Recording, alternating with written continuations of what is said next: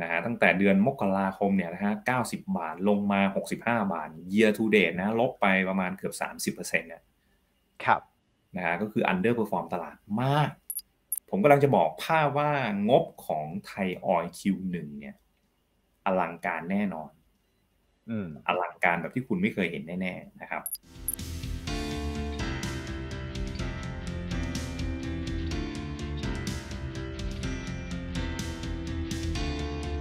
คุณอาทิตย์ครับตีมหุ้นเด่นวันนี้ครับนะฮะสำหรับหุ้นเด่นที่เลือกมาให้วันนี้นะครับ ก็คือเป็นกลุ่มพูดง่ายคือก่อนหน้านี้ถูกกระทบหนักจากการที่น้ำมันเนี่ยปรับตัวสูงขึ้นนะครับเพราะฉะนั้นเนี่ยพอน้ำมันดิบมันเริ่มมีสัญญาณของการพักตัวมีการย่อตัวลงมาเนี่ยเราก็มองว่ากลุ่มนี้นะครับน่าจะได้เซนติเมนต์บวกเนี่ยคืนกลับมา แค่เซนติเมนต์นะฮะย้ำนะฮะปัจจัยพื้นฐานนี่อีกส่วนหนึ่งนะครับเพราะฉะนั้นเนี่ย ตัวแรกที่เราเลือกมาให้วันนี้เนี่ยคือ GPSC GPSC เรือธงโรงไฟฟ้าของกลุ่มปตทตัวนี้ใช่ไหมครับ คุณอาทิตย์ถูกต้องครับ ถูกต้องครับพิยุทธนาครับ ก่อนหน้านี้นะครับ เราย้อนกลับไปดูราคาของ GPSC นะฮะตั้งแต่ต้นปีนี่ลงมาตลอดทางเลยนะครับพิยุทธนานะฮะตั้งแต่เดือนมกราคมเนี่ยนะฮะ90 บาทลงมา 65 บาท year to date นะลบไปประมาณเกือบ 30%เนี่ย ครับนะฮะก็คือ underperform ตลาดมากนะครับทำไมมันถึงลงมาขนาดนี้ล่ะนะครับ ก็น้ำมันนั่นแหละฮะที่มันปรับตัวสูงขึ้นเนี่ยคนก็เลยกลัวว่าราคาก๊าซที่ GPC เนี่ยซื้อมาเพื่อผลิตไฟฟ้าเนี่ย มันจะเพิ่มขึ้นกำไรมันจะ drop นะฮะคนก็เลยขายออกขายออกขายออก พอมาเกิดสงครามอีก น้ำมันยิ่งพุ่งขึ้นไปอีกนะครับ ดีไม่ดีไปทำให้พวกราคาที่เป็นวัตถุดิบในการทำแบตเตอรี่ไฟฟ้าเนี่ย ขึ้นตามอีกครับพี่ยุทธนาซวยสองเด้งเลยสำหรับ GPSC นะนะครับ มันก็เลยทำให้ราคาเนี่ยนะครับจากที่พยายามเลี้ยงตัวเองแถวๆเส้น 10วันของอาจารย์กัฟเนี่ยแถว 75 บาท หลุดลงมาอีกมาเป็น 65 บาทนะครับ จนราคาหุ้นเนี่ยนะ RSI เข้าเขตโอเวอร์โซนะครับก็คือต่ำกว่า 30 นะต่ำกว่า 30นะครับราคามันดิบลงก็เลยเซนิเมนต์เนี่ยมันควรจะคืนกลับมาถูกไหมฮะควรจะคืนกลับมาแล้วเพราะก่อนหน้านี้คุณโดนกดหนักมากเลย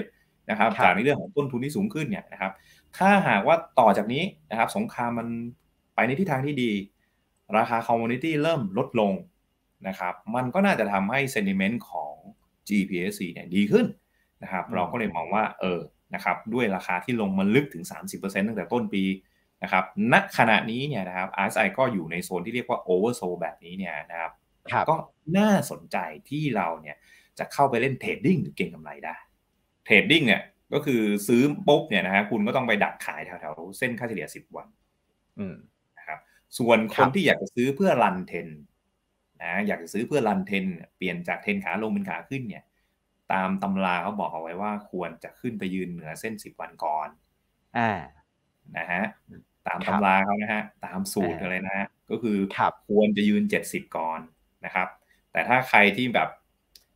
เป็นลักษณะเทรดดิ้งเนี่ยนะฮะขึ้นไปชนเจ็ดสิบก็ขายออกมาก่อนนะครับมันก็เป็นไปตามตำราเลยนะครับพี่ยุทธนา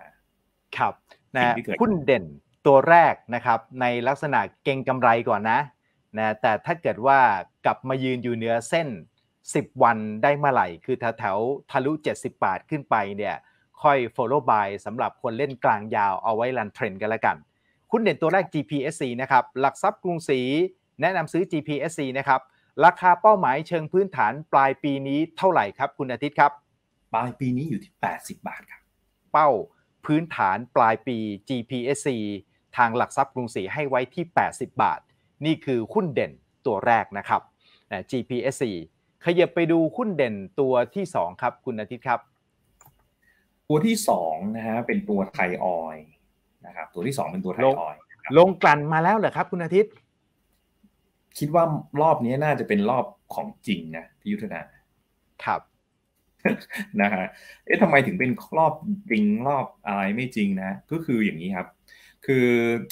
จำได้ไหมตอนที่น้ำมันขึ้นเนี่ยนะครับ ทุกคนแห่เล่นนสอพอตัวเดียวแล้วก็ทิ้งลงกันลงมา อืมอืมนะครับ ส่วนหนึ่งเนี่ยเป็นเพราะว่า ตอนนั้นเนี่ยนะบรรดาโรงกันเองเนี่ยยังไม่สามารถที่จะปรับราคาที่เป็นพวกน้ำมันสำเร็จรูปเนี่ยขึ้นไปได้ทันที ต้นทุนขึ้นแต่ว่าราคาขายยังขึ้นไม่ได้ทันทีใช่ไหมถูกต้องฮะมันก็เลยมีอยู่ช่วงหนึ่งวันหนึ่งนะฮะที่ค่าการกลั่นอยู่ดีๆเนี่ยเจ็ดเหรียญนนะอีกวันหนึ่งหล่นลงไปเหลือสามเหรียญเลยครับวันที่สามมีนานะถ้าผมจำไม่ผิดนะ วันที่สามมีนา วันนั้นเนี่ยนักทุนเทขายไทยออยลงมาด้วยความตกอกตก ใจนะว่าเฮ้ยสรุปแล้วเนี่ยฉันจะได้ประโยชน์จากน้ำมันดิบหรือเปล่าเนี่ยน้ำมันที่ขึ้นเนี่ยสรุปแล้วฉันได้ประโยชน์หรือฉันเป็นลบกันแน่นะครับ วันนั้นเนี่ยนะครับทำให้ให้ให้หุ้นในกลุ่มลงกันหลาย ๆ ตัวนี้สตันกันไปหมดเลยนะแล้วก็มีการปรับตัวลดลงมานะครับ วันนี้เนี่ยนะครับ พวกบรรดาโรงกันเนี่ยสามารถปรับขึ้นราคาขายน้ำมันสำเร็จรูปตรงนั้นเนี่ยได้แล้วนะครับยุทธนาครับนะครับ ปรับขึ้นได้แล้วนะฮะคือต้นทุนคุณขึ้นมาไม่เป็นไรฉันปรับได้แล้ว นะครับผักภาระไปได้แล้วเราได้เห็นสัญญาณจากตรงไหนก็คือค่าการกันครับปรากฏว่าค่าการกันของกลุ่มโรงกันในตอนนี้ เอาอันนี้อ้างอิงหน้าโรงกันสิงคโปร์นะนะครับรบวันก่อนเนี่ยอยู่ที่11.69ขึ้นมาเร็วมากนะครับปีที่แล้วเนี่ยค่าการกันของกลุ่มโรงกันเนี่ยต่ำเตี้ยเลี่ยดินมากเลยนะประมาณครับ ไม่ถึงสองเหรียญนะปีนี้เรากำลังคุยกันอยู่ที่16.7เหรียญนะ นะฮะเยอะมากนะครับ แล้วทีนี้ผมอยากจะให้ดูอีกอันหนึ่งนะฮะอันนี้แค่แค่ค่าการกันนะนะครับ ก็คือกำไรปกติดีมาก ผมกำลังจะบอกภาพว่างบของไทยออยคิวหนึ่งเนี่ย อลังการแน่นอนอลังการแบบที่คุณไม่เคยเห็นแน่ๆนะครับ กลุ่มลงกันเนี่ยนะครับ อีกอันหนึ่งที่ที่เขาจะได้คืออะไรรู้ไหมฮะคือ stock gain ครับพี่ยุทธนา กำไรจากสต็อกน้ำมัน เพราะราคาน้ำมันสำเร็จรูปมันพุ่งขึ้นมาเยอะใช่ไหมครับ ใช่ครับใช่ครับไอ้เจ้าตัว stock gain เนี่ยผมนั่งดูคร่าวๆนะ ผมว่าถ้าราคาน้ำมันดิบยืนได้ที่ระดับหนึ่งเกินร้อยสิบเหรียญเนี่ยนะฮะร้อยสิบเหรียญไปจนถึงสิ้นเดือนมีนาคมเนี่ย เฉพาะ stock gain เนี่ยเป็นหมื่นล้านนะ stock gain นะ stock gain อย่างเดียวในหมื่นล้านนะครับปีที่แล้วเนี่ยทั้งปีเลยนะ ไทยออยล์มีกำไรทั้งปีเนี่ยหมื่นสองเอง ครับ อันนี้แค่ stock gain นะหมื่นล้านก็คือแบบโอ้โหจะจะเกินปีที่แล้วแล้วอะนะครับ อันนี้ผมยังไม่ได้รวมค่าการกลั่นแบบปกติด้วยซ้ำนะ อันนี้ผมเคาะแค่ stock gain นะครับ ถ้ามันขึ้นไปร้อยี่สิบเหรียญเนี่ยไทยออยจะมีกำไรจากสต็อกเกนเนี่ยราวๆสักหมื่นสามพันล้าน หมื่นสามพันล้านนะคิดแบบง่ายๆนะฮะก็คือเอาราคาน้ำมันดิบณะปลายเดือนมีนาคมเนี่ยเป็นลบ ราคาน้ำมันดิบณะปลายเดือนธันวาคม แล้วเอามาหารสามหารสามเสร็จแล้วไปคูณกับปริมาณการกันของแต่ละโรงกันนะครับว่ามีปริมาณการกันเท่าไหร่นะครับ ได้เท่าไหร่แล้วเนี่ยเอาไปคูณอัตราแลกเปลี่ยน คุณก็จะได้กำไรคร่าวๆจากสต็อกเกนเนี่ยออกมาประมาณนี้นะครับนี่คือคร่าวๆนะ นะครับ ครับพอดีแค่แค่เกินเก้าสิบเหรียญเนี่ยคนก็ยิ้มแล้วครับนะมีมีโอกาสที่ค่าการกลั่นจะ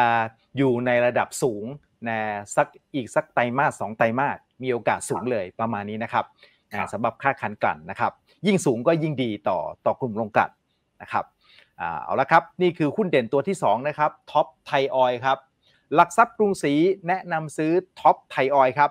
เป็นการแนะนำซื้อในลักษณะแค่เก็งกำไร หรือแนะนำซื้อในลักษณะ buy and hold ครับสำหรับตัวนี้ครับคุณอาทิตย์ buy and hold ได้เลยฮะ let let เขาเรียกอะไรอะ run trend ได้เลยฮะตัวนี้นะให้เป้าพื้นฐานนะฮะ63 บาทครับ เป้าพื้นฐานปลายปี TOP ไทยออยล์คือ 63 บาทนะครับนะถือ run trend ได้นะครับ ถือกลางยาวได้สำหรับ TOP ไทยออยล์นะครับ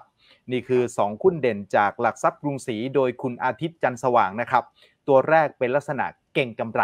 นะตามกรอบนะครับ GPSC อีกตัวหนึ่งเนี่ยสามารถถือเล่นกลางยาวได้ก็คือTOP ไทยออยล์นั่นเองนะครับ